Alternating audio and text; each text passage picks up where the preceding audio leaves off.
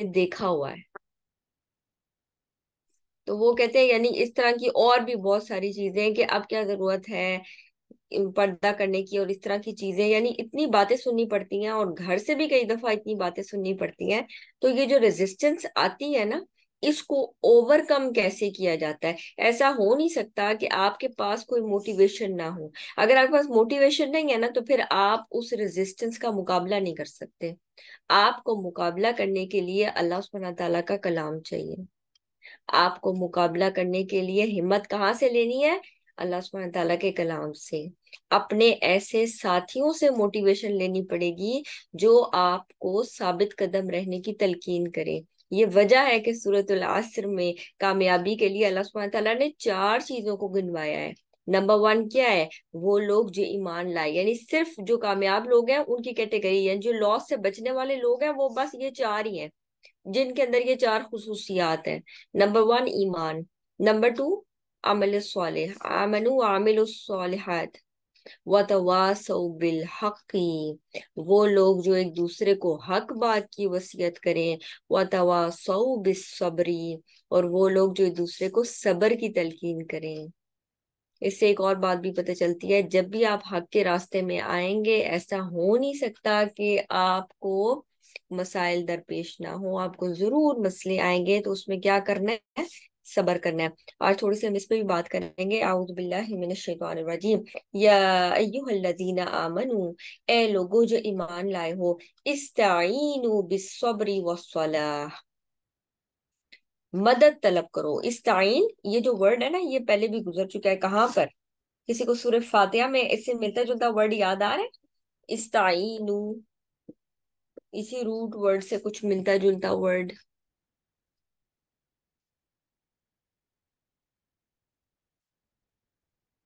किसी को याद आ रहा है तो शेयर कर सकते हैं। इस्ताइनु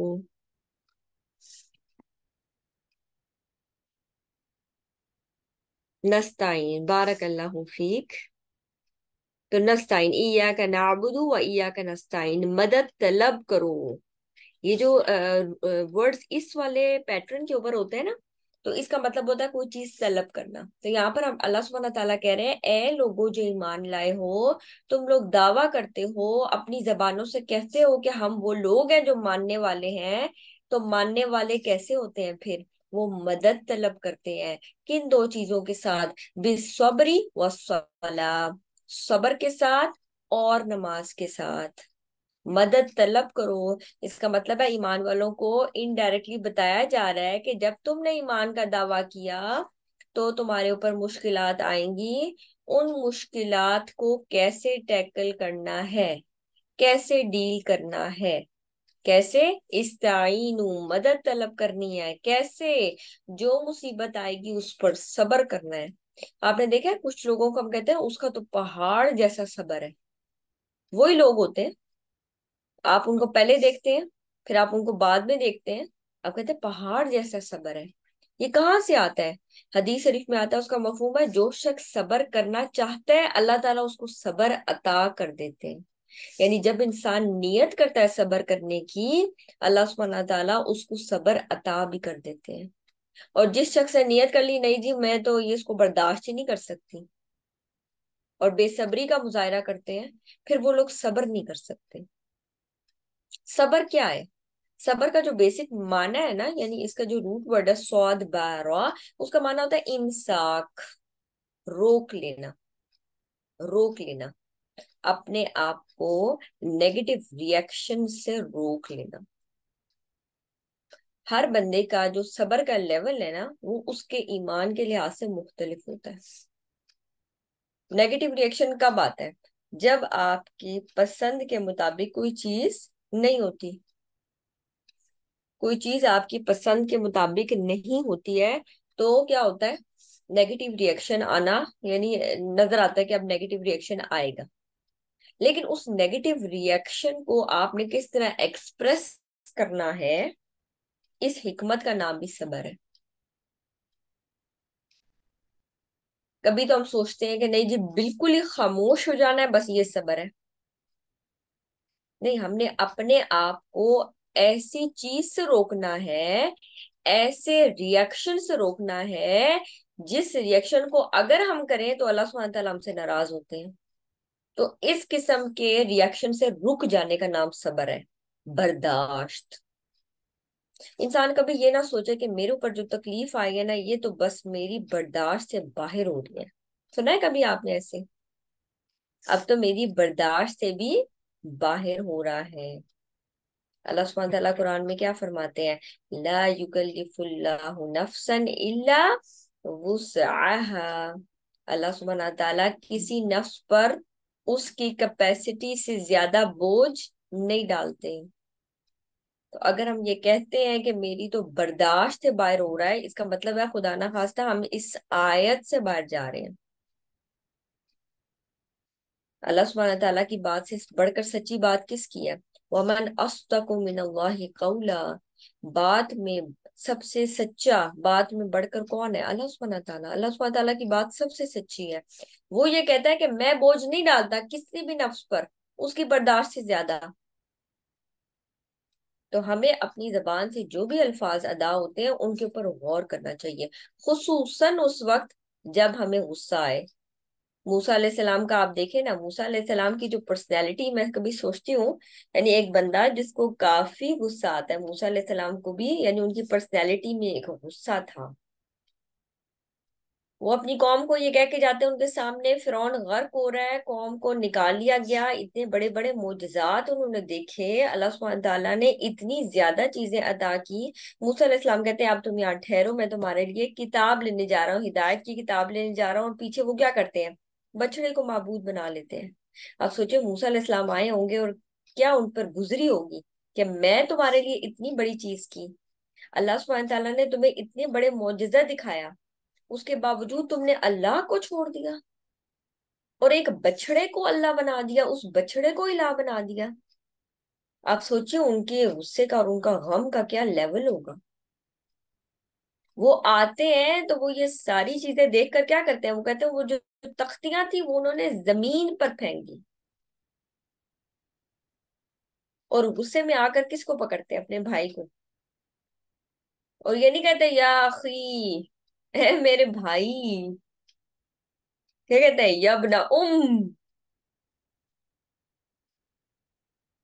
ये जो यबना उम है ना ये हम कब बोल रहे होते हैं? यानी यबना उम नॉर्मली हम ये चीज़ यूज़ नहीं करते। वैसे आपको फील करवाने के लिए कि जैसे हम किसी बंदे से ना नाराज़गी का इजहार करते हैं ना तो हम थोड़ा सा वो वाली चीज़ यूज़ करते हैं, जो थोड़ी सी दूर करके हो। जैसे आपके साथ वाले कमरे में अगर कोई सोता है और आप उसे थोड़ी सी नाराज़गी में है तो आप क्या कहते हैं?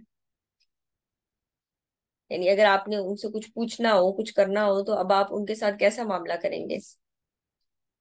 या अपने हमसायों से भी पूछ लेना चाहिए कि उन्हें भी कुछ चाहिए या नहीं, या इस तरह की कोई बात?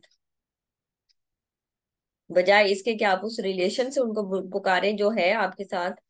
आप थोड़ा सा दूर करके जो रिलेशन है, उसके साथ पुकारते हैं, अपनी नाराज़गी का इजहार करने के लिए। हज़रत आयशा रदी अल्लाह क्या फरमाती हैं? आप फरमाते हैं, आयशा जब तुम मुझसे नाराज़ होती हो, मुझे पता चल जाता है।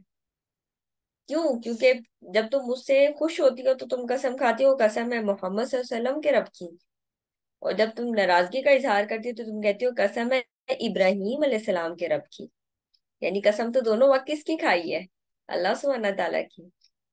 लेकिन एक दफ़ा ये वाली कसम, एक दफ़ा वो वाली कसम एक्सप्रेशन इजहार। खैर तो यहाँ पर सबर सबर का माना होता है रोक लेना। और सबर ना हमारे पास डिफरेंट कैटेगरीज में आता है। हम जो सबर पहचानते हैं, सबर, हम कहते हैं किसी तकलीफ़ पर सबर। हम जिस सबर को पहचानते हैं, हम कहते हैं ये वो वाला सबर है, जिसमें हम कोई तकलीफ़ आती है, कोई आजमाइश आती है, हमें उस पर सबर करना है, हम बीमार होते हैं, हमने सबर करना है।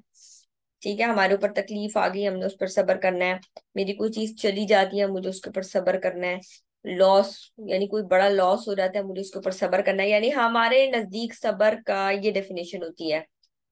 सबर कुछ और चीज़ों पर भी होता है। सबर उस चीज़ पर भी कोई चीज़ आपकी मर्ज़ी के खिलाफ हो रही हो, अब उस पर भी सबर है। कोई चीज़ अल्लाह सुबहाना ताला ने मना की हुई है, लेकिन आपको बहुत पसंद थी, अब आप अल्लाह की रजा के लिए उस चीज़ को छोड़ रहे हैं तो उसको छोड़ने पर भी सबर। तो सबर सिर्फ़ चीज़ों के लॉस होने पे या कोई चीज़ आपसे चली गई, सिर्फ़ उस पर सबर नहीं। तो सबर की हमारे पास तीन डिफरेंट कैफियात होती है। नंबर वन जो सबर हम पहचानते हैं नंबर वन कौन सा है? तकलीफों पर सबर, आजमाइश पर सबर। नंबर टू वो सबर कि अल्लाह सुबहाना ताला ने कोई चीज़ मना कर दी है और आप उस चीज़ को पसंद करते थे, लेकिन अब आप अल्लाह की रजा के लिए उसे रुक जाते हैं। तो ये भी सबर। और तीसरी किस्म का सबर। अल्लाह ने कोई चीज़ आपके ऊपर फ़र्ज़ की है, किसी चीज़ को करने का हुक्म दिया है, और अब आप अपने नफ्स को उस पर आमादा करते हैं तो इस पर भी सबर। मसलन, जैसे सर्दियाँ चल रही हैं, ठंड होती है, फजर और इशा की नमाज़, अल्लाह सुबहान ताला तौफीक दे तो तहज्जुद की नमाज़ ये पढ़ना आसान नहीं है, लेकिन नफ्स के ऊपर सबर करके इंसान अगर उठ जाता है तो ये भी सबर की बहुत बड़ी टाइप है। इससे ये भी पता चलता है कि अगर हम सिर्फ़ सबर के वर्ड को लेना तो ये हमारी सारी इबादत को भी जमा करने वाली है। देखे, सबर में अवामिर भी आ गए, यानी अल्लाह तआला ने जिन चीज़ों को करने का हुक्म दिया है चाहे नफ्स चाह रहा है, चाहे नहीं चाह रहा है, उसके बावजूद उसको बजा लाए अपने नफ्स पर सबर करके। जिस चीज़ से रोका है, उन चीज़ों से रुक जाए, चाहे दिल चाह रहा है, अपने नफ्स पर सबर करके। और नंबर थ्री, कोई तकलीफ़, कोई परेशानी आ रही है, उसके बावजूद सबर कर जाए। तो बस ये तीन ही चीज़ें हैं, जिसके गिर्द हमारी ज़िंदगी रोटेट करती है। तो अल्लाह सुबहान तआला कहते हैं, मदद तलब करो सबर के साथ वसला और नमाज़ के साथ। नमाज़ के साथ। अल्लाह सुबहान तला के साथ कनेक्शन बिल्ड करो। अल्लाह सुबहान तआला से मांगो। गजवा बदर हो रही है और आपसे सलम का क्या हाल था? आपने पढ़ी होगी वो हदीस, जिसका मफहूम कैसे आता है कि आप दुआ मांगते रहे मांगते रहे। आप ने हाथ बुलंद किए यहाँ तक कि आप के ऊपर जो चादर थी वो नीचे गिर गई। और आँखों से आँसू जा रही है यहाँ तक कि दाढ़ी तर हो जाती है। हज़रत अबू बकर सिद्दीक रज़ी अल्लाह आते हैं और वो चादर उनके कंधों पर देते हैं और कहते हैं, अल्लाह के रसूल बस कर जाइए।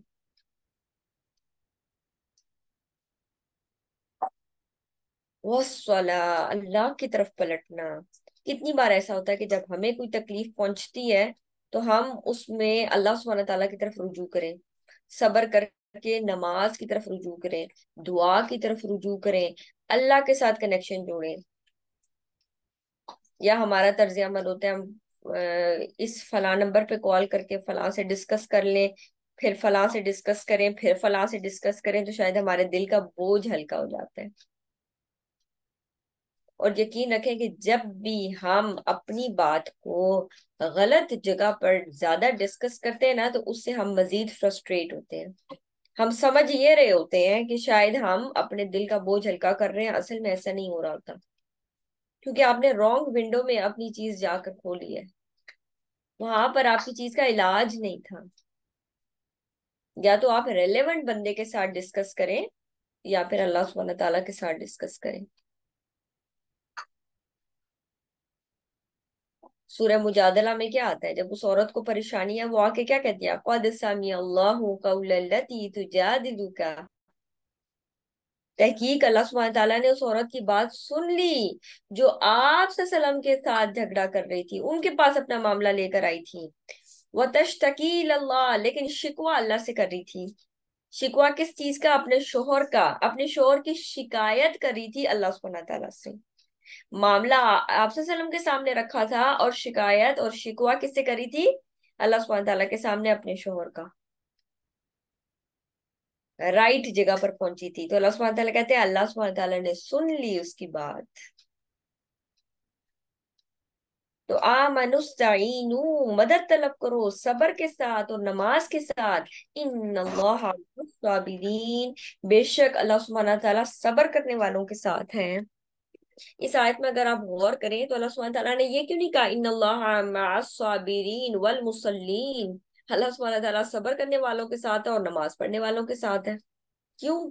पीछे तो देखे ना, सबर का भी ज़िक्र हुआ और नमाज़ का भी ज़िक्र हुआ। तो आगे तो यूँ आना चाहिए ना कि सबर अल्लाह सुब्हान ताला या यूँ होता कि अल्लाह सुब्हान ताला इन दोनों के साथ है। माहुमा इन दोनों के साथ है। सबर करने वालों के भी साथ है, नमाज़ पढ़ने वालों के भी साथ है। सिर्फ़ सबर का ज़िक्र इसलिए किया गया कि जैसे मैंने आपको पहले बताया ना कि सबर कितनी बड़ी इबादत है। कि सबर में नमाज़ दाखिल है। क्योंकि नमाज़ भी पढ़ने के लिए अपने नफ्स को आमादा करना, आप इस कदर मसरूफ है, उस मसरूफियत के बावजूद नमाज़ के लिए उठना। ये भी सबर की कैटेगरी में शामिल है। इसलिए सबर को उसमें शामिल किया, नमाज़ को उसमें शामिल किया गया। इस वजह से इन साबिरीन का तस्करा करके नमाज़ को भी बीच में शामिल कर दिया गया। तो ए ईमान वालों, मदद तलब करो सबर के साथ, नमाज़ के साथ। अच्छा पीछे मैं आपको बता रही थी ना, जैसे किबले के चेंज की बात आ रही थी, उसके बाद आप सल्लल्लाहु अलैहि वसल्लम का ज़िक्र आया था और उनकी जो चार चीज़ें थी, उनका ज़िक्र आया था कि हमने आप में, आप ही में से एक रसूल भेजा है। अगर आप इन डॉट्स को कनेक्ट करें ना कि रसूल भेजा रसूल के भेजने का मकसद ये था कि वो आपको किताब की तालीम दे आपको तिलावत करके सुखाए आपका तस्किया करे आपको हिकमत की बातें सिखाए आपको ऐसी बातों की तालीम दे जिसको आप पहले नहीं जानते थे। तो आपने करना क्या है? अल्लाह सुबहान ताला की शुक्रगुजारी करनी है और उसकी तकफीर नहीं करनी उसकी नाशुक्री नहीं करनी। और उसके साथ ही आप देखें आयत आ जाती है ए ईमान वालों मदद तलब करो नमाज़ के साथ सबर के साथ तो अल्लाह ताला सबर करने वालों के साथ है। डॉट्स को जरा कनेक्ट करें। रसूल जब आ रहे हैं जब रसूल पैगाम लेकर आ रहे हैं, इसका मतलब है ये बड़ा नेचुरल है कि जब अल्लाह सुबहाना ताला का पैगाम हम तक पहुँचता है तो वो ये डिमांड करता है कि हम अपनी लाइफ को, अपनी ज़िंदगी को सेट कर ले अल्लाह सुबहाना ताला की बताई हुए अहकाम के मुताबिक, उस शरीयत के मुताबिक। उस शरीयत के मुताबिक जब हम अपने आप को सेट करेंगे तो हर चीज़ फिक्स होगी, लेकिन हम एक फ़ेज़ से गुजरेंगे। उस फ़ेज़ में हमारे ऊपर डिफरेंट मुश्किल आएँगी। उन मुश्किल का मुकाबला करने के लिए सब्र करना पड़ेगा और नमाज़ से मदद लेनी पड़ेगी। आपको पता है, यही सेम चीज़ किसको पहले कही गई थी? बनी इसराइल को। अगर आपको याद हो, हमने आया नंबर फोर्टी फाइव में क्या पढ़ा था? वस्ताइन बिसब्री वसला और मदद तलब करो सबर के साथ और नमाज़ के साथ। व इल्ला अलल खाशिन लेकिन ये सबसे ज़्यादा मुश्किल है सिवाय उन लोगों पे जो ख्वाशे हैं। ख्वाशीन के अलावा ये नमाज़ काफ़ी भारी है। ये दोनों काम करने काफ़ी मुश्किल है। इल्ला ये कि आप खुशू इख्तियार करने वाले हो। वो लोग जिनको यकीन है कि उनकी, उनके रब के साथ मुलाकात होने वाली है, उनके लिए बस आसान है, वरना ये दोनों काम एक मुश्किल काम है, सबर भी और सलाह भी। तो पीछे बनी इसराइल का तस्करा आ रहा है।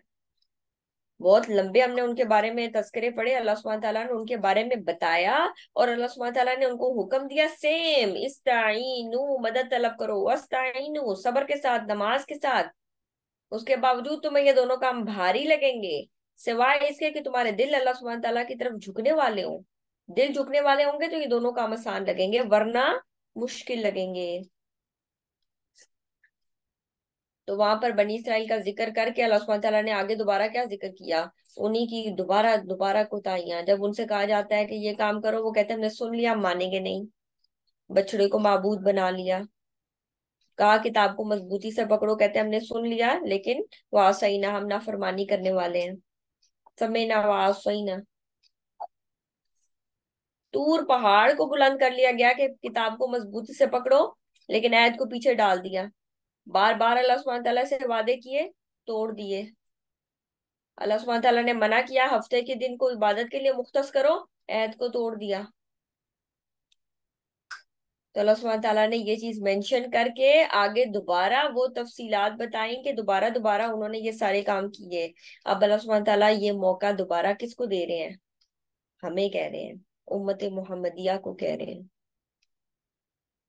देखें जब एक चीज़ पहले गुजर चुकी होती है ना, और मैंने आपको बताया कि अल्लाह सुबहान ताला उनकी सारी बातें किसी रीजन की वजह से मेंशन कर रहे हैं।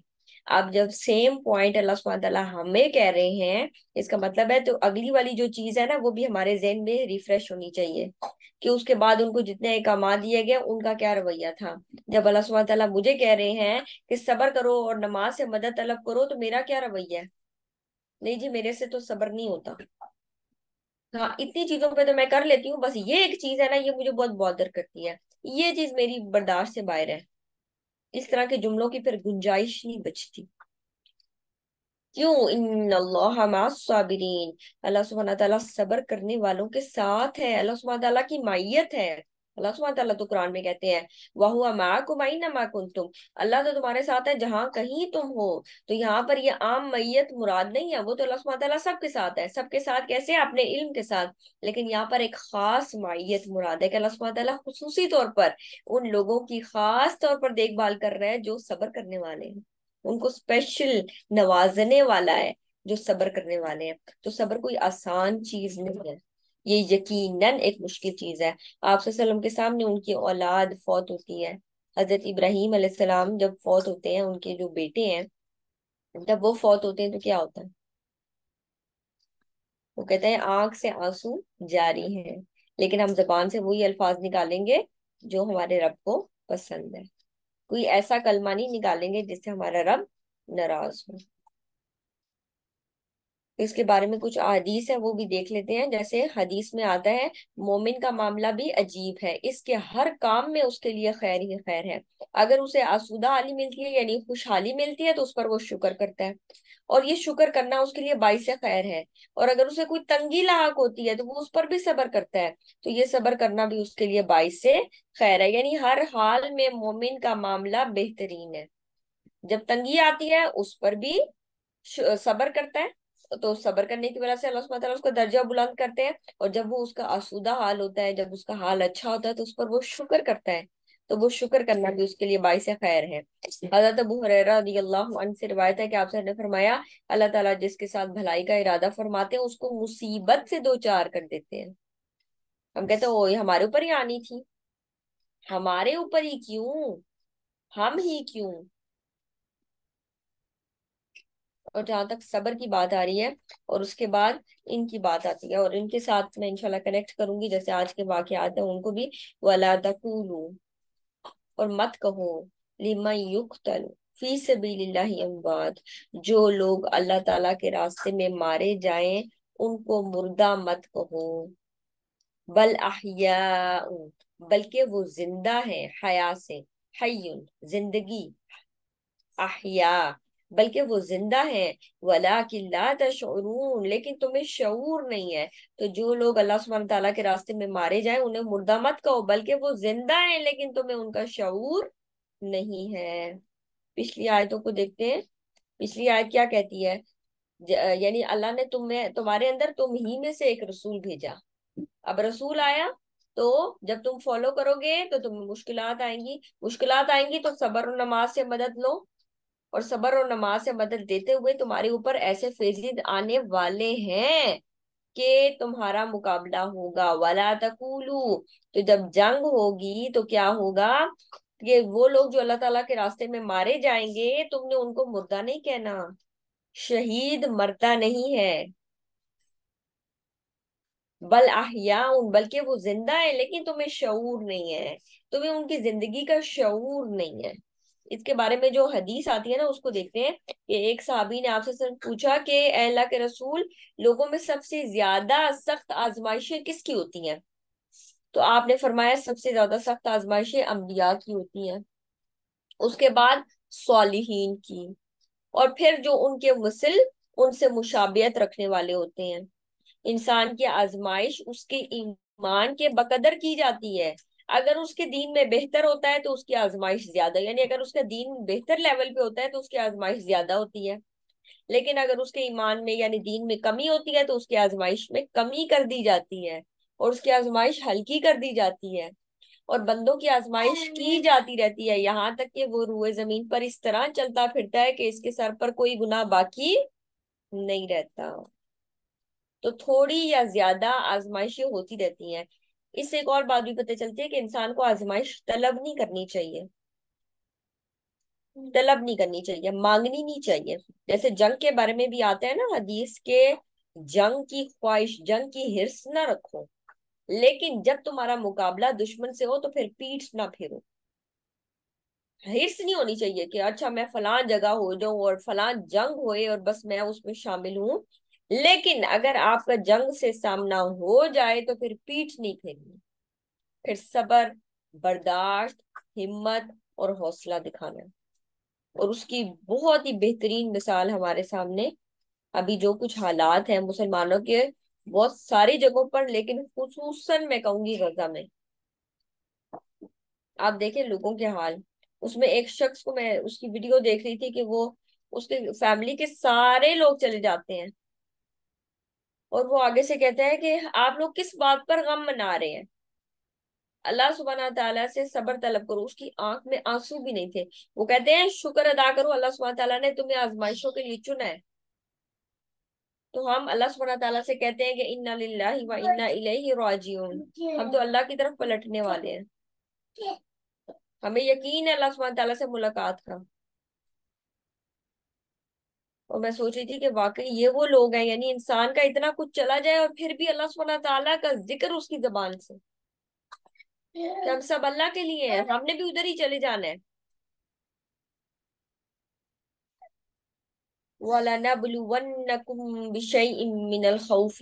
और यकीनन हम तुम्हें खौफ और भूख से, यहाँ पर ना इसको थोड़ा सा वर्ड को देखते हैं, वलनबलुवन्नकुम। ये जो नबलुवन्नकुम ना, वाला ये जो लाम शुरू में लगा हुआ है ना इसका मतलब होता है अलबत्ता। और ये जो वन्नकुम ये जो नून के ऊपर तशदीद आई हुई है इसका भी मतलब होता है ज़रूर बा ज़रूर। और अलबत्ता हम आजमाएँगे तुम सबको ज़रूर बा ज़रूर। यानी ये तो हो के ही रहेगा। जब तुम इस दीन की तरफ़ आओगे और ऐसे नहीं होता कि आप इस दीन की तरफ़ नहीं आते तो आपके ऊपर कोई आजमाइश नहीं आती। आजमाइश तो बहरहाल आती ही है। चाहे आप फॉलो कर रहे हैं या नहीं फॉलो कर रहे चाहे आप मुसलमान है, चाहे गैर मुस्लिम है। आजमाइशें तो आती ही हैं। अल्लाह तआला यहाँ ज़हनी तौर पर तैयार कर रहे हैं कि यकीनन ज़रूर बा ज़रूर हम तुम्हें आजमाएँगे कुछ चीज़ों के साथ। किसके साथ? मिनल खौफी, खौफ में से। कभी तुम्हें ज़िंदगी का खौफ होगा कभी तुम्हें तुम्हारे नुकसान का खौफ होगा, कभी तुम्हें तुम्हारी जान का खौफ होगा, चीज़ों के चले जाने का खौफ, दुश्मन के आ जाने का खौफ, लूटे जाने का खौफ डिफरेंट किस्म के खौफ। मिनल खौफी, खौफ से आजमाएँगे हम तुम्हें। तुम्हारे ऊपर ये कैफियत आएगी। वलजूई और भूख भूख से आजमाएँगे। ऐसा हो सकता है कि तुम्हारे पास माल ना हो। अभी आप देखें कितने दिन उन्होंने अंदर नहीं जाने दिया ए, जो उनकी मदद थी जो डिफरेंट ममालिक मदद भेजना चाह रहे थे वो उनको अंदर नहीं जाने दे रहे थे। तो मैं सोचती थी कि वो लोग क्या खाते होंगे? खुसूसन वो जो मुजाहिदीन है और जो बाहर लोग हैं वो भी। अल्लाह सुबहान ताला आजमा रहे हैं। खौफ है ना? कहता हमें नहीं पता कि हम सुबह उठेंगे या नहीं उठेंगे। खौफ की कैफियत है ना? वलजू, भूख वनक्स मिनल अमवाली। और नुकसान है मालों का। माल का नुकसान। मेंटल प्रिपरेशन हो रही है ऐसा मौका आएगा कि तुम्हें खौफ से आजमाया जाए, तुम्हें भूख से आजमाया जाए। वनक्सिम मिनल अमवाली। तुम्हारे मालों में कमी हो जाए, तुमने किसी चीज़ में इन्वेस्ट किया लॉस हो जाएगा। किसी जगह तुमने माल लगाया वहाँ से उस तरह रिटर्न नहीं आया। तुमने माल दिया किसी ने धोखा दे दिया। नुकसान हो गया माल में। नक्स नुकसान। वल अनफुस जानों की कमी। अनफुस। वस्तमरात। और फलों की कमी। ये जो समरात का वर्ड है ना समरा ये दो मानों में इस्तेमाल होता है। एक तो माना होता है फ्रूट्स जैसे आपको पता है फार्मर उसके लिए वो सारी चीज़ क्या है? उसके लिए उसकी औलाद से बढ़कर होती है उसके फ्रूट्स या वो जो चीज़, फ़सल जो लगाता है, जो फ़सल वो लगाता है, वो उसके लिए सबसे बढ़कर होती है। वस्तमरात वबश्शिर साबिरीन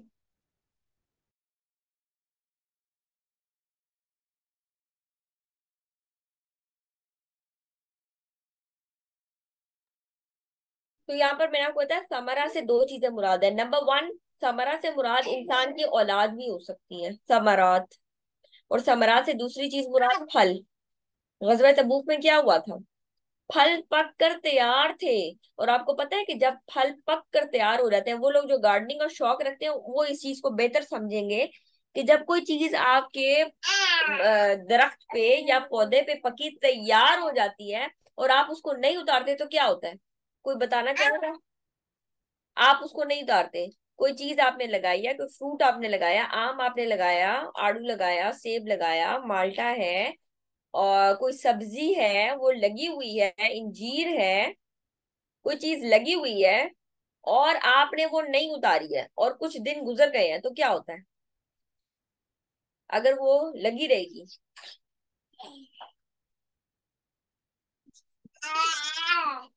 खराब हो जाएगी। खराब हो जाएगी, बिल्कुल। नाकारा हो जाती है। आप इतनी मेहनत से एक चीज़ उगाते हैं और वो चीज़ खराब हो जाती है।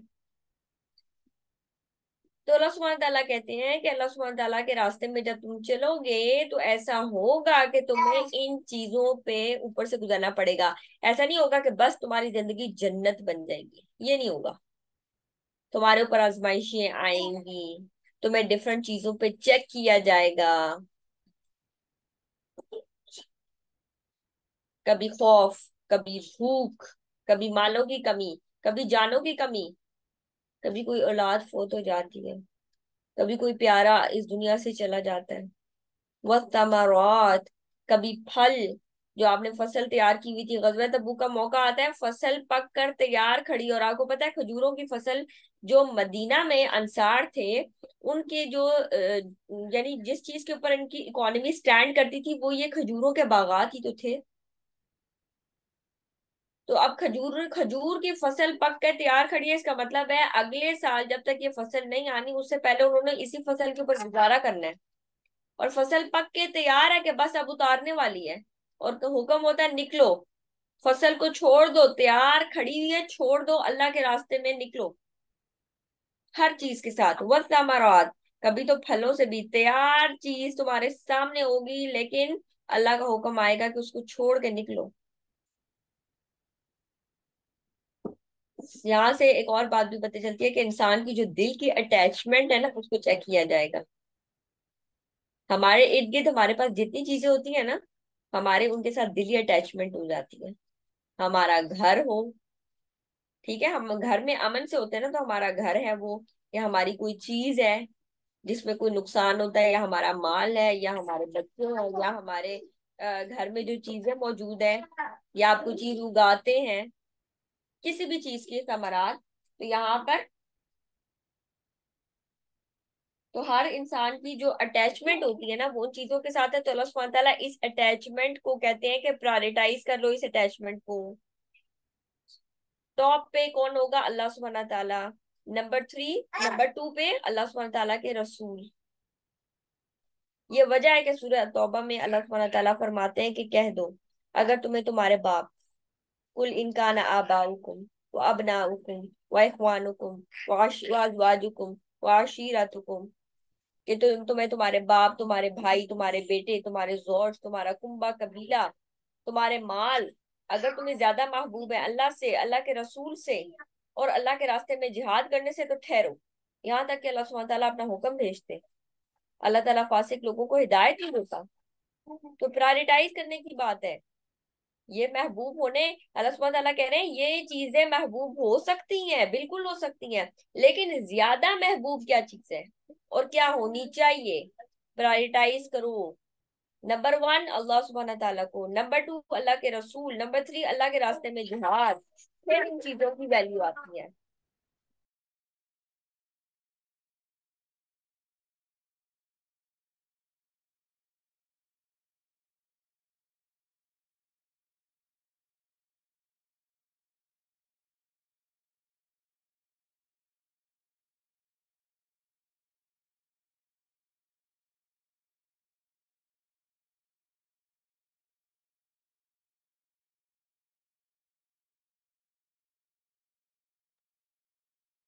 वल अनफुसी व तमरात और नफ्स और फल वबशिर और खुशखबरी सुना दो सबर करने वालों को तो वो लोग जो सबर करेंगे, असल खुशखबरी उन्हीं के लिए और पीछे हमने सबर के बारे में काफ़ी डिटेल में देख भी लिया कि सबर करने वाले असल में कौन है। अल्लाह सुब्हानहू तआला आगे भी बताते हैं कि वो कौन लोग हैं।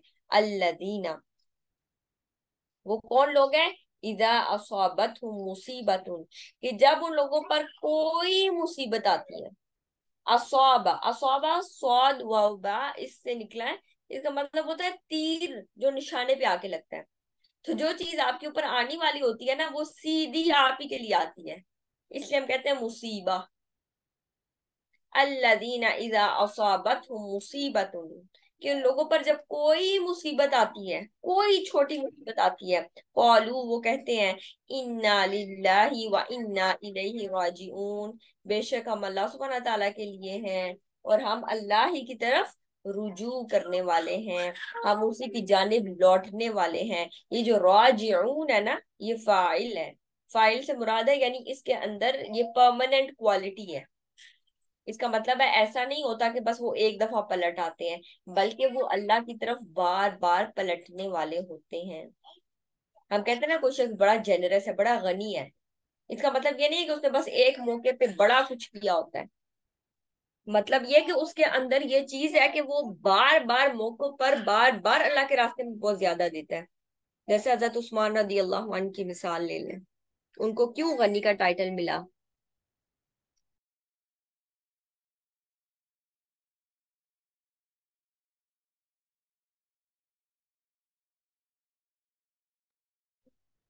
हाँ वो कुआँ खरीदने का मामला हो, उस यहूदी से, या वो मस्जिद नबी की तोसी हो, या वो गजवात में आप के साथ, आप की पुकार पर मदद देना हो, कैमल्स के साथ, या दीनार के साथ, या दिरहम के साथ, वो हर चीज़ में आगे आगे है। वो हर चीज़ में आगे आगे हज़रत उस्मान गनी रदी अल्लाह जेनरस, राजिऊन। वो अल्लाह ही की जानब लौटने वाले हैं। वो उसी की तरफ़ पलटते हैं उसी से रुजू करते हैं उसी से मांगते हैं। जब कोई मुसीबत आती है और इसी के बारे में एक हदीस आती है कि हज़रत आयशा रदी अल्लाह अनहा एक दफ़ा वो फरमाती है कि एक दफ़ा चिराग बुझ गया। यानी चिराग बुझ गया बिल्कुल ऐसे जैसे आप समझे कि मोमबत्ती अगर बुझ जाती है तो आप वसल्लम ने पढ़ा इन्ना लिल्लाहि व इन्ना इलैहि राजिऊन। तो हज़रत आयशा अल्लाह ने फरमाया, ये तो बस एक चिराग ही तो था। यानी ये तो बड़ी मामूली बात थी तो आपने इसमें भी इन्ना लिल्ला पढ़ा। तो आपने फरमाया, हर वो चीज़ जो इंसान को पहुँचती है, यानी हर जो मुसीबत, चाहे वो छोटी होती है, चाहे वो बड़ी होती है, हर वो चीज़ जो इंसान को पहुँचती है, उस पर किसकी तरफ़ रुजू करना चाहिए? अल्लाह की तरफ़ रुजू करना चाहिए तो मोमिन को उसके ऊपर भी अजर मिलता है, हर छोटी चीज़। और इसी तरह एक और हदीस में भी आता है उसका भी मफहूम है कि इंसान को कोई भी तकलीफ़ पहुँचती है यहाँ तक कि कोई एक कांटा भी चुप जाता है और वो उस पर सबर करता है तो उसके लिए भी उसके ऊपर अजर लिखा जाता है। तो कोई चीज़ जो इंसान को परेशान करती है उस पर इंसान ये चीज़ पढ़ सकता है। इन्ना लिल्लाही व इन्ना इलैहि राजिऊन।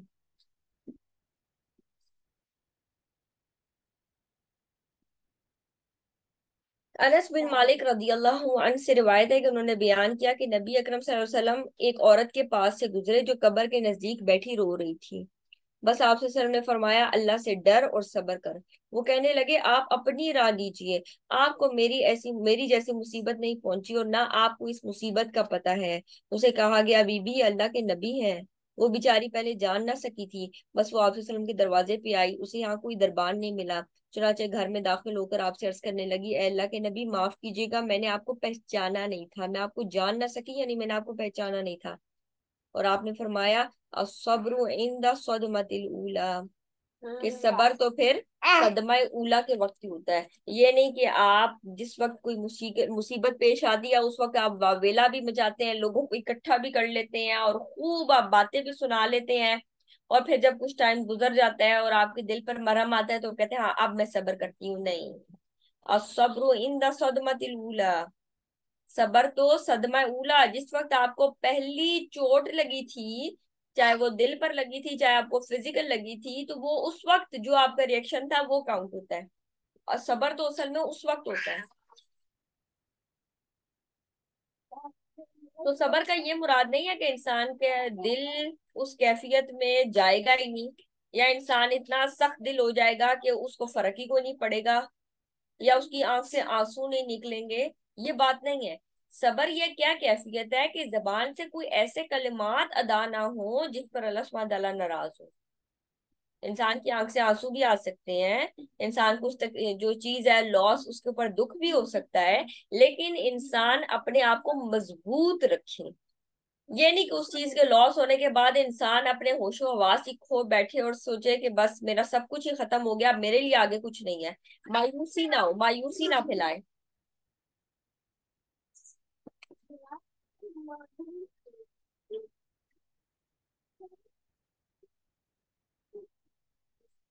इसी तरह एक और हदीस में आता है कि जब किसी बंदे का बच्चा फौत हो जाता है तो अल्लाह ताला फरिश्तों से फरमाते हैं, तुमने मेरे बंदे के बच्चे की रूह कब्ज की है। फरिश्ते जवाब में हाँ कहते हैं। अल्लाह सुबह ताला फरमाते हैं, तुमने उसके दिल के टुकड़ा और समरा कब्जा किया। ये मैंने आपको बताया ना, समरा औलाद के लिए भी आता है। तो यहाँ इस हदीस से भी पता चलता है, समरा औलाद के लिए भी आता है। यानी तुमने उसके दिल का टुकड़ा और समरा कब्ज किया तो वो कहते हैं हाँ अल्लाह पूछते हैं। हालाँकि अल्लाह सुबह जानते हैं, उसके बावजूद अल्लाह सुबह पूछते हैं, मेरे बंदे ने उस वक्त क्या कहा? फरिश्ते कहते हैं उसने तेरी तारीफ़ की और इन्ना लिल्लाहि व इन्ना इलैहि राजिऊन पढ़ा। अल्लाह फरमाते हैं, मेरे बंदे के लिए जन्नत में घर बना दो और उसका नाम बैतुल हमद रखो। यानी जब कोई प्यारी चीज़ अल्लाह सुबहान ताला ले लेते हैं और औलाद से बढ़कर इंसान को और प्यारा क्या हो सकता है? तो जब औलाद चली जाती है और इंसान उसके ऊपर सबर करता है तो अल्लाह सुबहान ताला क्या करते हैं? उसके लिए बैतुल हमद में जगह बना देते हैं। इसमें वो वाली औलाद भी शामिल है जो भी पैदा नहीं हुई होती और पहले ही प्रेगनेंसी के दौरान ही अबॉर्शन हो जाते हैं।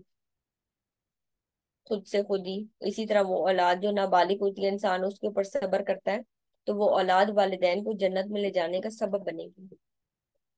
तो कहते हैं उस बंदे के लिए जन्नत में घर बना दो और उसका नाम बैतुल हमद रखो। इसने इतनी मुश्किल में भी अल्लाह सुबहान ताला की तरफ़ रुजू किया था। उसी की तारीफ़ बयान की थी। उसी की तरफ़ पलटा था।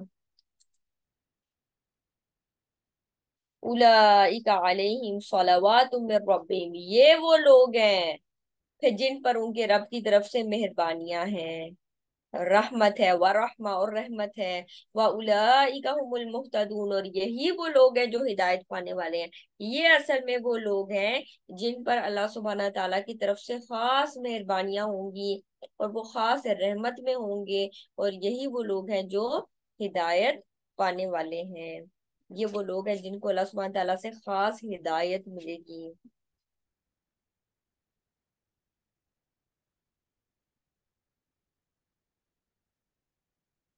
अच्छा सबर के कॉन्टेक्स्ट में ना मैं एक और चीज़ भी बताना चाहूँगी कि सबर का जैसे मैंने आपको माने बताया ना कि सबर का माना होता है इमसाक यानी अकल का इतबा करके इंसान अपने आप को नफ्स के और अपनी नफसानी ख्वाहिशात के हवाले ना करे।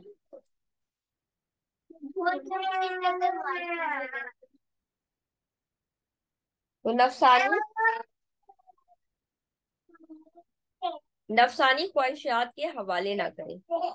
अब वो कहते हैं सबर किसको नसीब होगा? तो कहते हैं सबर उसी को नसीब होगा जिसके अंदर ये तीन कैफियात होंगी। ये जो तीन कैफियात है ये क्या है? यानी अल्लाह सुबहान ताला ने उसको अकल भी दी हो उसके अंदर गजब की कैफियत भी हो और उसके अंदर शहवानी कैफियत भी हो।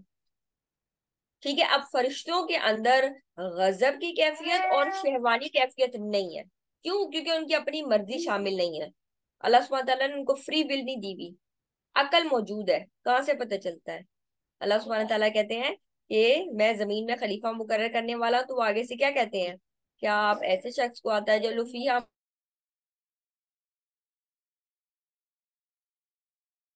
खलीफा बनाने वाले हैं जो क्या करेगा? ज़मीन में फसाद करेगा खून बहाएगा? सवाल करते हैं। और हम आपकी तस्वीर करते हैं आपकी हमद के साथ। हम आपकी पाकी बयान करते हैं। तो अकल तो मौजूद है, लेकिन गजब वाली कैफियत और शहवानी कैफियत नहीं है। अगर जानवरों में देखा जाए तो क्या है, अकल नहीं है, लेकिन गजब भी है, गुस्सा भी आता है जानवरों को, और शहवानी कैफियत भी है। वो हलाल और हराम की तमीज किए बगैर, यानी इन चीज़ों का ख्याल रखे बगैर, वो एक दूसरे जो जानवर है, उनको वो ख्याल नहीं करते। लेकिन हम अगर देखें, इंसान को अल्लाह ने अकल से भी नवाजा है उसके अंदर गजब की भी कैफियत है और उसके अंदर फ्री विल चॉइस भी रखी हुई है। तो ये जो सबर का मामला है ना ये वही बंदा कर सकता है जिसके पास ये तीनों कैफियात हो। यानी सबर को इस्तेमाल करे अक्ल को इस्तेमाल करे और वो क्या करे? अपने नफ्स पे भी कंट्रोल करे, अपने गुस्से पे भी कंट्रोल करे और अपनी ख्वाहिशात पे भी कंट्रोल करे। तब उन लोगों को ये चीज़ मिलेगी कि उनको उनके रब की तरफ़ से खास रहमत मिलेगी, खास मेहरबानी मिलेगी। फिर ये वो लोग हैं जो हिदायत पाएँगे। ठीक है? तो यहाँ पर अपने नफ्स को भी कंट्रोल करना है, ख्वाहिशात, नफसानी ख्वाहिशात को भी कंट्रोल करना और अपने गजब को भी कंट्रोल करना, गुस्से को भी कंट्रोल करना। नेगेटिव रिएक्शन से भी बचना। तो ये लोग हैं जो हिदायत पाने वाले हैं। हिदायत याफ्ता ये लोग होंगे। इन सफ़ा वल फिर आगे सबर की बात होते होते एक और मिसाल आ गई। कि बेशक सफ़ा और मरवा। मीन शाइरिल्लाह ये अल्लाह की निशानियों में से है। शाइरतुन की जमा शाइर। शाइरा निशानी अलामत को कहते हैं। और ये वो अलामत शायरिल्ला अल्लाह की अलामत। यानी ऐसी निशानियाँ जिसको देखकर अल्लाह याद आता है। तो सफ़ा और मरवा अल्लाह की निशानियों में से है। ये यहाँ पर क्यों बयान किया गया? यहाँ पर इस वजह से बयान किया गया क्योंकि जब हज की बारी आई और उसमें सफ़ा और मरवा किया जाता है, उम्र में भी किया जाता है तो सही के दौरान तो यहाँ पर हज में तो खसूसन रुकन के तौर पे किया जाता है तो जब सफ़ा और मरवा से आ, आ, जो कुरैश थे उन्होंने मुशरकिन ने दो बुत रखे हुए थे एक सफ़ा पे और एक मरवा पे। तो जो सहाबा थे ना उनके दिल में ये आया कि शायद सफ़ा और मरवा ज़रूरी नहीं है क्योंकि अगर हम ऐसा करेंगे तो ऐसा ना हो कि उन बुतों की ताजीम हो। हालाँकि वो बुत वहाँ से गिरा दिए गए थे लेकिन वो दो जगह एसोसिएट हो गई थी उनके साथ। बुतों के साथ। अल्लाह सुबह ने कहा, नहीं, ये सफ़ा और मरवा तो अल्लाह की निशानियों में से हैं। अल्लाह सुबहान ने हज़रत हाजरा रदी अल्लाह उनकी, आप देखें कि कुर्बानी को किस कदर एक्सेप्टेंस दी है कि अल्लाह सुबहान ने कहा, सफ़ा और मरवा तो मेरी निशानियों में से है, अल्लाह की निशानियों में से है। इसमें हमें सबर की बेहतरीन मिसाल मिलती है कि किस तरह वो अपने बच्चे के साथ फिर रही हैं, कोई शिकायत नहीं कर रही हैं, कोई आस पास खाने के लिए मौजूद नहीं है, पानी के लिए मौजूद नहीं है, मौत नज़र आ रही है, उसके बावजूद ट्रस्ट तवक्ल किस पे अल्लाह पर। नहीं कह रही मेरा शोहर, मेरी परवाह किए बगैर हमें इतने जंगल में छोड़कर चले गए और इतने सहरा में सॉरी जंगल नहीं, सहरा में छोड़कर चले गए। हमारा ख्याल नहीं किया। नहीं, कोई शिकायत नहीं। अल्लाह से मांग रही हैं। अल्लाह को उनकी ये कोशिश और उनको ये सबर इस कदर पसंद आ रहा है कि अल्लाह सुबहान कहते हैं, सफ़ा और मरवा अल्लाह सुबहान के शायर में से ये तो अल्लाह की निशानियों में से है। तो जो कोई तुम में से हज बैत, बैतुल्ला करे, यानी अल्लाह सुबहान ताला के घर का हज करे, अवै तमरा या उमरा करे, उसका इरादा करे, फला जुनाह अलैहि बिहिमा तो उन पर कोई हरज नहीं कि उन दोनों का भी तवाफ करे। यहाँ पर उन दोनों का तवाफ से क्या मुराद है? यानी कि उनका खूब तवाफ करे, यानी सफ़ा से मरवा और मरवा से सफ़ा। जैसे हम सफ़ा मरवा स्टार्ट करते हैं ना, सही स्टार्ट करते हैं तो सफ़ा से स्टार्ट करते हैं तो उसमें कैसे स्टार्ट करते हैं? आप दाऊ बीमा, बाद अल्लाह ये कहते हैं ना कि मैं वहीं से इब्तदा करती हूँ जहाँ से अल्लाह सुबहान ताला ने इब्तदा की। अल्लाह सुबहान ताला ने कैसे इब्तदा की? इस आयत में अल्लाह सुबहान ताला ने सफ़ा को पहले वर्ड रखा और मरवा को बाद में ज़िक्र किया। तो कहते हैं, हम भी ऐसे ही इब्तदा करेंगे, सफ़ा पे पहले जाएँगे और फिर मरवा पे जाएँगे। यानी जो पहला चक्कर है वो सफ़ा से स्टार्ट करेंगे और मरवा पे एंड करेंगे। ऐसे ही इब्तदा करेंगे जैसे अल्लाह ने इब्तदा की। अबदाऊ बिमा बदा अल्लाह। और फिर हम ये आयत ही पढ़ते हुए उसके ऊपर चढ़ते हैं इन सफ़ा वल मरवा मिन शाइरिल्लाह। सफ़ा और मरवा तो अल्लाह की अलामत में से अल्लाह की निशानियों में से है। तो इनको उन बुतों के साथ मंसूब ना किया जाए कि दिल में एक घुटन सी आए कि अच्छा अगर हम वहाँ पर सफ़ा और मरवा करेंगे तो कहीं हम उनकी ताजीम की तरफ़ नहीं जा रहे। नहीं, ये तो अल्लाह की निशानियों में से है। तो जो कोई हाजिया उमरा करे तो उसमें कोई हरज नहीं कि उन दोनों का भी तवाफ करे। वमान तो जो कोई खुशी से नेकी करेगा फ़ाइन भी खूब कदरदान भी और इल्म नहीं करते जो है। शाकिर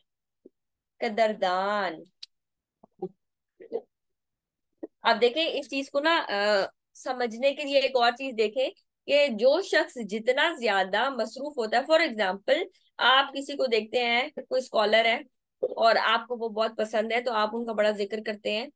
तो ऐसा ऐसा है ना कि जब आप उनका ज़िक्र कर रहे हैं, आप महफिल में बैठे हैं, आप उनका ज़िक्र कर रहे हैं तो क्या ऐसा होगा कि वो भी आपका ज़िक्र कर रहे हो? उनको तो पता भी नहीं होगा कि आप उनका ज़िक्र कर रहे हैं। क्यों? क्योंकि वो एक मसरूफ पर्सनैलिटी होंगे। उनकी अपनी एक रूटीन होगी। उनका आपके साथ उतना इंटरेक्शन नहीं होगा। इंटरेक्शन होगा भी तो इतना सरसरी सा होगा। तो जो बंदा जितना ज़्यादा मशहूर होता है उतना ही ज़्यादा या वो बंदा जो जितना ज़्यादा बिज़ी है या अगर आप किसी बंदे को बहुत ज़्यादा उसका ज़िक्र करते हैं तो ज़रूरी नहीं है कि वो शख्स आपका भी उतना ज़िक्र करता हो। यहाँ पर आप देखें। अल्लाह सुबहाना ताला का मामला। अल्लाह सुबहाना ताला हर चीज़ को जानते हैं लेकिन जब आप अल्लाह सुबहाना ताला के लिए कोई नेकी खुशी से करते हैं अल्लाह सुबहाना ताला उसकी कदरदानी करता है। अल्लाह सुबहाना ताला को पता होता है कि आप उसके लिए ये चीज़ कर रहे हैं। तो अल्लाह सुबहाना ताला उसका रिटर्न ज़रूर देंगे। अल्लाह सुबहाना ताला एहसान करने वालों के अजर को जाया नहीं करते। वो तो शुक्र वो तो आपके चीज़ों का कदरदान है। इसके बारे में ना एक कॉलर बड़ी खूबसूरत बात कर रहे थे। मैं उनकी तफसीर सुन रही थी तो वो कहते हैं कि ये बिल्कुल ऐसे है ना जैसे वालदेन अपनी औलाद से कहें कि जब आपको वक्त मिले ना तो आप आ, मुझे फ़ोन कर दिया करें। तो कहते हैं वो बच्चा जो बड़ा वालिदैन के लिए डिसेंसी शो करने वाला होगा और अगर उसको वालिदैन ये कह रहे होंगे कि बेटा जब आपको वक्त मिले ना तो आप मुझे कॉल कर लिया करें मेरा हालचाल पूछ लिया करें। तो अगर उस बच्चे में जरा भी डिसेंसी होएगी ना तो वो ज़रूर शर्म से पानी पानी हो जाएगा इस बात से। क्यों? क्योंकि उसको ये एहसास होगा कि ये काम तो मुझे वैसे भी करना ही चाहिए। तो बिल्कुल इस तरह अल्लाह सुबहाना ताला जो एक मोमिन है ना, उसकी डिसेंसी को शेक कर रहे हैं। कि तुम कोई भी नेकी करोगे तो यकीन रखो कि अल्लाह सुबहाना ताला तुम्हारे लिए कदरदान होगा। अल्लाह ताला को पता है कभी कोई लो, लोगों के लिए हम कोई काम करते हैं ना तो हम कहते हैं ना उस बंदे को पता होना चाहिए हमने उनके लिए ये काम किया और कुछ लोग इस तरह से काम करते हैं कि वो बताना चाहते हैं कि हाँ जी हमने ये काम किया है हमने ये चीज़ तैयार की है। अपने बॉस को पता होना चाहिए कि हाँ जी हमने ये चीज़ तैयार की है आपके लिए हमने ये काम किया है। और हमें वो लोग किस किधर बुरे लगते हैं ना जो हमारा काम लेकर क्रेडिट खुद ले जाते हैं। तो अल्लाह सुबहाना ताला के हाँ ऐसी कोई चीज़ नहीं है। अल्लाह सुबहाना ताला को मालूम है इल्म है अलीम है वो। और कदरदान भी है उसको पता है कि आपने उसके लिए काम किया है। वो आपकी चीज़ों को जाया नहीं करेगा। तो सफ़ा और मरवा अल्लाह सुबहाना ताला के शायर में से है। यहाँ पर एक और बात जो उन्होंने मेंशन की वो भी बड़ी खूबसूरत है कि पीछे देखे नबी का ज़िक्र आया। आगे उनके जो काम है चार उनका ज़िक्र आया। यानी नबी ये ये काम करेगा। उसके बाद हम देखें कि अल्लाह सुबहाना ताला पीछे किसका ज़िक्र करते हैं? सबर का ज़िक्र करते हैं। सबर के बाद अल्लाह सुबहाना ताला सफ़ा, मरवा, हज, तवाफ, उम्र, इसका ज़िक्र कर रहे हैं। और ये ना गजवा बदर से भी पहले की आयात है। और गजवा बदर से पहले आपका क्या ख्याल है? उनके मक्का वालों के साथ कैसे ताल्लुकात थे? क्या उनको इजाज़त थी कि वो जब चाहे जाके हज करके आ सकते हैं मुसलमान? अल्लाह सुबह कहते हैं, जब तुम हज करने जाओ ना या उम्र करने जाओ तो तुम उन दोनों का तवाफ कर लो। तुम्हारे ऊपर कोई हरज की बात नहीं है। तो ये इनडायरेक्टली बताया जा रहा है कि कुछ ऐसे हालात पेश आने वाले हैं कि तुम्हें अनकरीब हाजिर उम्र की खुली छूट होगी, तुम्हें इजाज़त होगी, तुम जब चाहो जाकर हाजिर उम्र कर सकते हो। लेकिन उसके दरमियान में एक फ़ेज़ आएगा। और वो कौन सा फ़ेज़ है? कि तुम्हें आजमाया जाएगा। खौफ से। भूख से, मालों की कमी से, जानों की कमी से, फलों की कमी से। तो तुम्हें उस वक्त सब्र करना है। यानी जंग होगी इनडायरेक्टली क्या बताया जा रहा है कि जंग होगी। अब तुम उसके लिए अपने आप को जेनी तौर पर तैयार करोगे। वमन ततवा खैरन तो जो कोई खुशी से नेकी करेगा यकीन अल्लाह सुब्हानहू तआला का दरदान है, सब कुछ जानने वाला है। इन्नल्लज़ीना यक्तुमूना मा अंज़लना मिनल बय्यिनात। बेशक जो लोग वाजिया दलीलों और हिदायत को छुपाते हैं मिन बादी मा बय्यन्नाहु लिन्नास, इसके बाद के अल्लाह तआला ने उसको उन लोगों के लिए खोल दिया था, उन लोगों को क्लैरिटी हो गई थी फिल किताबी किताब में। तो यही लोग हैं कि इन पर अल्लाह लानत करता है और लानत करने वाले लानत करते हैं। वो लोग जो किताब में से बैनात और हिदायत को छुपाते हैं। अपनी मर्ज़ी का स्टैंड प्रूफ करने के लिए बस आयात में से वही चीज़ को कोट करते हैं, जिस, जो उनकी अपनी चीज़ को सपोर्ट करता है और बाकी चीज़ों को छोड़ देते हैं ऑल टुगेदर कितमान करते हैं, छुपाते हैं. तो वो लोग जो कितमान करते हैं, यानी छुपाते हैं, जो अल्लाह सुबहान ताला ने नाजिल किया बैनात में से, हिदायत में से, बाद इसके अल्लाह सुबहान ताला उनको लोगों के लिए वाजे कर चुका था किताब में से वो कहते हैं, इसका शान नजूल क्या है? कि आप सल्लम के पास यहूदी कुछ लोग आए, उलमा, जो यहूदी उलमा थे, वो आए और उनके पास एक केस लाया गया जिसमें जिना के मुर्तकब हुए थे, एक यहूदी मर्द और एक यहूदी औरत और उनका फैसला आप सल्लम के पास लाकर करवाया गया। आपने फरमाया कि तुम अपनी किताब में देखो कि उसमें क्या हुक्म है। तो उन्होंने क्या किया? पढ़ना शुरू किया और उसमें जो आयात रजम थी ना, यानी जो पत्थर मारकर हलाक करने वाली आयात थी, उसको छुपा लिया। तो हज़रत अब्दुल्ला बिन सलाम ने कहा, तुमने गलत बात की, तुम अपना हाथ हटाओ उस जगह से और उस आयत को भी पढ़ो। तो जब उस आयत को पढ़ा गया तो वो रजम की आयात थी। तो इन्होंने जानबूझकर उस चीज़ को छुपाया। और कहते हैं, फिर उनको रजम की सजा सुनाई गई। तो ये लोग जानबूझकर आयात को छुपाते थे। हुक्म मौजूद है, अमल नहीं करना चाहते थे। आप सोचें कि हम रिप्रेजेंट करते हैं ना, हम मुसलमान के तौर पे दुनिया के सामने अपने आप को रिप्रेजेंट करते हैं। हम कैसे मुसलमान हैं? क्या हमें देखकर लोग समझ सकते हैं कि अच्छा इस्लाम ये है? अनफॉर्चुनेटली अभी बहुत से लोग क्या कहते हैं, आप मुसलमानों को ना देखें, आप इस्लाम को देखें। तो हम मुसलमान असल में रिप्रेजेंटेटिव्स हैं इस्लाम के। एम्बेसडर्स हैं इस्लाम के। हमारा उठना, बैठना, रहन सहन, मामलात, ये सब किस चीज़ को शो करने चाहिए? इस्लाम को, अल्लाह की किताब को। तो जब हम उन चीज़ों को रिप्रेजेंट नहीं करते खोल कर बयान नहीं करते, इसका मतलब है हम कौन सी कैटेगरी में जा रहे हैं? कितमान की कैटेगरी में। फिर तो हम छुपाने वाले हैं ना, लोग हमें देख के समझेंगे अच्छा इस्लाम ऐसा होता है। तो इन लजीना यकतुमूना कि जब इन, इंसान उसको छुपाने लगता है जो अल्लाह सुब्हानहू तआला ने नाजिल किया बजाय इसके कि वो लोगों को सच सच बताता उन पर वाजिया करता अल्लाह सुब्हानहू तआला ने हमें उम्मत वसत बनाया है ना? हमारे ऊपर एक ज़िम्मेदारी डाली है। तुम बेहतरीन उम्मत हो। तुम लोगों को नेकी का हुक्म देते हो बुराई से रोकते हो और अल्लाह की किताब पढ़ते हो। अभी सूरह आल इमरान में भी आएगा। लेकिन हमने क्या चूज़ किया? कितमान? छुपाना। क्यों? क्योंकि अगर हमने फॉलो किया जो हम नहीं फॉलो करना चाहते क्योंकि हम जहनी तौर पर गुलाम हो चुके हैं।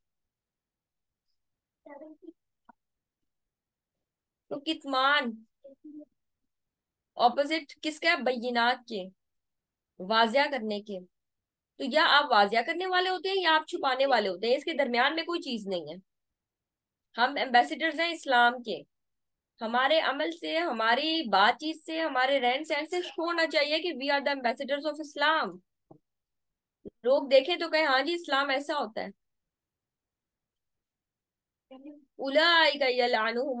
तो जो लोग जानबूझकर छुपाते हैं हालाँकि अल्लाह ने अपनी किताब उनके लिए वाजिया कर दी थी तो ये लोग हैं कि अल्लाह की उनके ऊपर लानत है।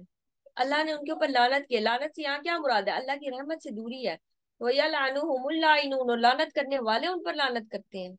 हदीस में आता है, जिससे कोई ऐसी बात छुपाएगी जिसका उसे इल्म था, और उसने उसे छुपा लिया तो क्यामत के दिन उसे आग की लगाम पहनाई जाएगी। ताबू। बस एक कंडीशन है, जिसमें माफ़ी है। वो लोग जिन्होंने तौबा की, वो असलाहू, अपने आप को ठीक कर लिया, उस चीज़ को छोड़ दिया वह बैन और खोल कर बयान कर दिया।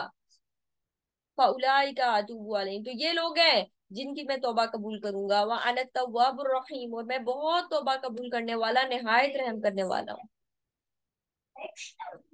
तो एक जो मोमिन है ना, उसकी ज़िंदगी ऐसे नहीं हो सकती कि बस वो, बस सुबह उठ रहा है और खाता और पीता है और इसी चीज़ में बिज़ी है कि आज क्या खाना है और आज क्या पकाना है। और आज यहाँ पार्टी है और आज वहाँ पार्टी है।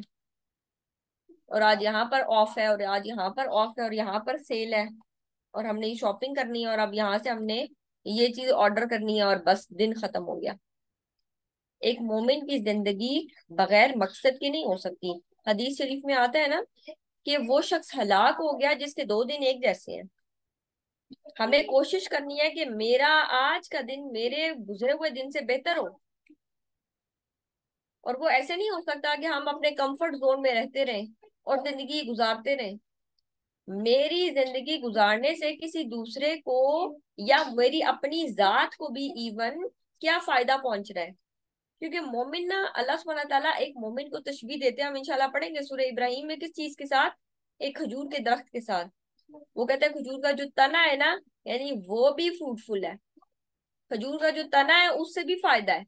जो खजूर की शाख है, उसका भी फ़ायदा है। जो खजूर के दरख्त है, उसका भी फ़ायदा है। खजूर का जो फ्रूट है, खजूर के दरख्त का, उसका भी फ़ायदा है। उसकी जो गुठली है, उसका भी फ़ायदा है। यानी मोमिन बेफायदा चीज़ नहीं है। उसकी ज़िंदगी से उसको खुद भी फ़ायदा होता है और वो दूसरों के लिए भी फ़ायदा मंद होता है।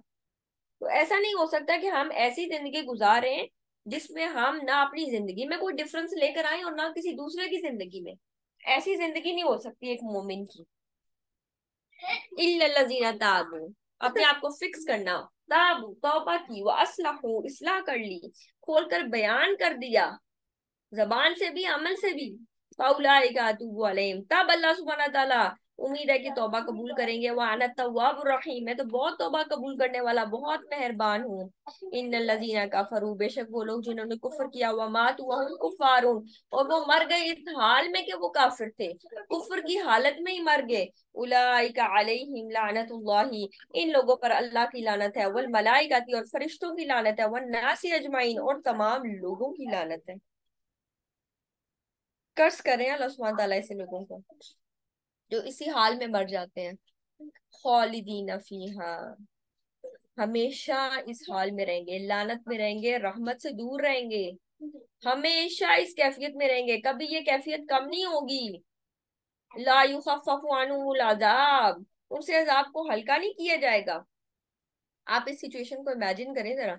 ला युखफू नहीं तकलीफ़ की जाएगी उनसे अजाब की। यानी एक शख्स को मारा जाएगा और अभी यानी जबड़ा उसके जो खुल जाएगा और अभी वो जबड़ा वापस जुड़ा नहीं होगा कि एक दफ़ा दोबारा उसको चीर दिया जाएगा। यानी एक इंसान को डंडा मारा जाए और दोबारा से उसको दोबारा से एक गुर्ज मार दिया जाए। अभी वो पिछले से संभला नहीं था कि एक और गुर्ज पड़े। फिर वो संभला नहीं था कि एक और गुर्ज पड़ गया। ला युखफ़फ़ उनसे अजाब हल्का नहीं किया जाएगा उनको टाइम नहीं दिया जाएगा। अच्छा तुम थोड़ा सेटल हो जाओ, फिर हम दोबारा शुरू करते हैं। नहीं, वला उनको मोहलत भी नहीं दी जाएगी। उनसे कोई उजर कबूल नहीं किया जाएगा। अब इस आयत को पढ़ के ना एक इंसान के दिल में खौफ आता है ना कि अजाब में किसी किस्म की कमी नहीं है। और ये किसके बारे में बताया जा रहा है? वो लोग जिन्होंने कुफर किया। वाह और जान लो। इलाहुकुम इलाहु वाहिद, कि तुम्हारा मबूद एक ही मबूद है। अब ये आयत पढ़ने के बाद ना, एक खुदा का जो तस्वुर जहन में आता है, वो कैसा आता है? वो उसके ऑपोजिट आता है, जो क्रिश्चियंस प्रीच करते हैं गॉड इज़ लव अल्लाह सुबहाना ताला बस प्यार ही प्यार है। अल्लाह है बस प्यार ही प्यार। तो ला युखफ़फ़ तो कहते हैं, यानी ये चीज़ें जो उनके साथ होने वाली हैं उसमें क्या मुस्लिम उम्मा का कोई रोल नहीं है? क्या हमारे ऊपर क्या हमारे ऊपर ज़िम्मेदारी नहीं थी कि हमने पहुंचाना था इस किताब को? तो आपका क्या ख्याल है कि हम अपने इर्द गिर्द अपनी ज़िम्मेदारी पूरी नहीं करेंगे तो क्या हमसे पूछा नहीं जाएगा? अल्लाह सुबहान कह रहे हैं उनको ये जान लेना चाहिए उन काफिरों को ये जान लेना चाहिए वो कैसे जानेंगे? रसूल तो अपना काम करके चले गए उन्होंने तो पहुँचा दिया और उन्होंने कहा जान लो बल हुआनी वलऊ आया, पहुंचाओ मुझसे, फा एक आयत भी हो तो मुझसे पहुंचाओ लोगों तक। वो ज़िम्मेदारी हम पे डाल के गए हैं और हम अपनी रूटीन में बिज़ी हैं। हम इस चीज़ को महसूस नहीं कर रहे कि हमारे ऊपर कितनी बड़ी ज़िम्मेदारी डाली गई है। अल्लाह ने अगर मुझे ऑनर दिया है तो उस ऑनर के साथ कितनी बड़ी ज़िम्मेदारी है कि मुझे लोगों तक ये बात पहुंचानी है। अल्लाह तआला कह रहे हैं, वा इलाह को मिलाहु वाहिद उनको जान लेना चाहिए कि वो तुम्हारा महबूद बस एक ही महबूद है। ला इलाहा इल्लाहु। उसके सिवा कोई महबूद नहीं है। वो कैसा महबूद है? रहमान रहीम। बहुत रहमत करने वाला वसी रहमत करने वाला है। पीछे देखे कितनी सख्त अजाब की बात है। और अल्लाह कह रहे हैं, लोगों को जान लेना चाहिए कि उनका महबूद कैसा है। वो बहुत रहमान और रहीम है। तो ये बात उन तक कन्वे किसने करनी है? मैंने और आपने। हमारी ज़िम्मेदारी है। उम्मत मुस्लिमा होने के नाते ये मेरी ज़िम्मेदारी है। क्या मैं इस ज़िम्मेदारी को अदा करने के लिए रेडी हूँ? तो अपने आप से सवाल करना है और इसके बारे में वर्कआउट करना है। वो आखिर दावाना अल्हम्दुलिल्लाह रब्बिल आलमीन। सुबहानक अल्लाहुम्मा बिहम्दिका नशहदु अन ला इलाहा इल्ला अंता। नस्तगफिरुका व